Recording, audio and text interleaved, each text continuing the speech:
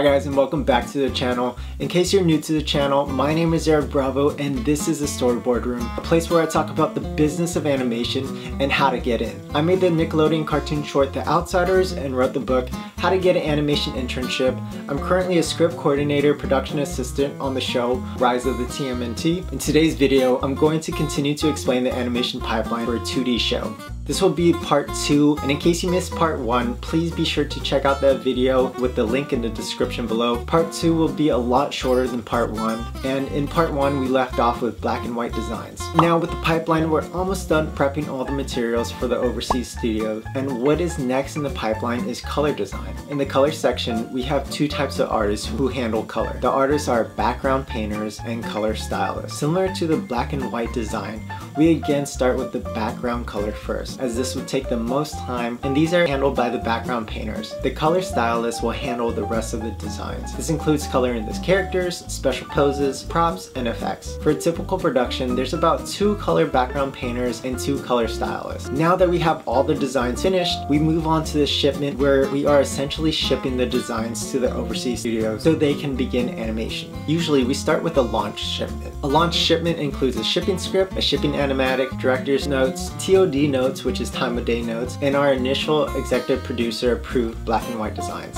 We'll also send them a call-out sheet, which details each and every asset or design that we're sending them. This helps make sure that they received all the material successfully. When we send a launch shipment, we're usually still working to complete all of the black and white designs and then start on color. The number of shipments can vary depending on how heavy or light an episode is. After a launch shipment, production will send a shipment on a weekly basis, usually after a completion of a category. For example, once more black and white designs have been reviewed and approved by the EP, which is the executive producer, production will send a shipment of these approved designs to the overseas studio, usually by the end of the week. The same goes for all color designs as well. This is a fun fact. Back in the day, studios would send physical shipments to the overseas studios. Today, it's all done digital. Animation is next on the pipeline. The overseas studio starts animation when we send our launch shipment, and they'll continue to work on it as more shipments are are being sent to them. Most of the animation is done overseas and not in-house. We provide them with everything they need to animate the episode, like all the designs, an animatic, director's notes. However, throughout the animation process, questions and clarifications are bound to arise. The overseas studios will send production any clarification questions so our EP and directors can answer them. They can also send a request for specific designs that they may have trouble with. During this process, we're there to answer any questions they have and to provide any materials that they may need to produce the animation. This is our waiting period for the episode. Once all the animation has been sent to us and it's been reviewed and approved by the EP, we then move on to next on the pipeline, which is post-production. During post, we color correct, add music, finalize sound effects,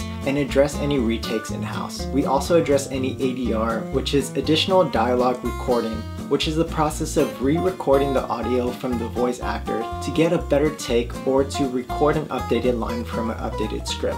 A lot happens during post that deserves a separate video. Please be sure to subscribe and hit that notification bell to be notified when that video will be released. Our final step of the 2D animation pipeline is to deliver the episode to the network. After post-production is all squared away and the EP approves of everything, the last step is to send the finished episode to network. The network will decide when the episode will air and the order of the series. All that is left for us to do is to enjoy the episode when they become available and reminisce about all the fun times making it. From start to finish, a 2D episode will take about a year to complete and will air on TV or online. Thank you for watching. I hope this video helps. What's your favorite part of the pipeline? Let me know down in the comments below. If you have any questions at all, please let me know. And if you like this video, please give it a thumbs up. Stay safe, stay tuned. Until next time. See you guys.